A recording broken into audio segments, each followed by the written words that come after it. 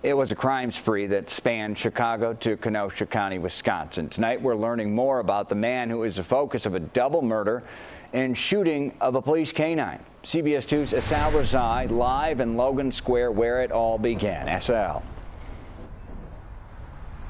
Brad, I'm at the bus stop where a man was shot and killed in a crime spree that ended over 50 miles away with the suspect in custody in Wisconsin. The community here is still on high alert.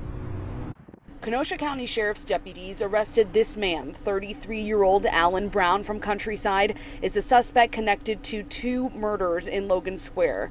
We've learned Brown is not only a convicted felon, but has a long criminal history. In 2009, he pleaded guilty and was sentenced to four years in prison for aggravated battery of an officer. In 2008, Brown was sentenced to two years in prison after pleading guilty for aggravated battery. We've also learned between 2005 and August of this year, he's been arrested arrested several times for drug possession, battery, aggravated assault, and resisting a police officer, but all those charges were dropped.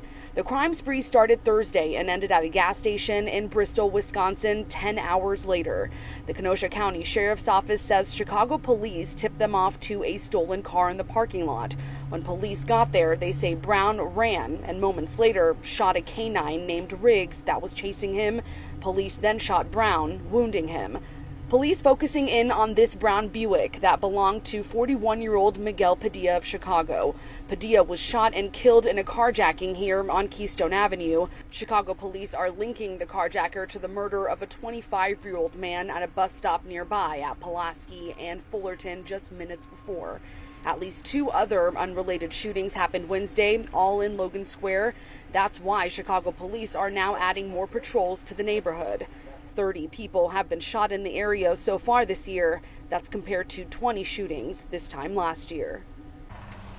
K9 Riggs was shot in the head and taken to an emergency vet hospital in Buffalo Grove. We're told he's expected to recover. As for Brown, still no charges. He is in the hospital. Brad? Sal, thank you.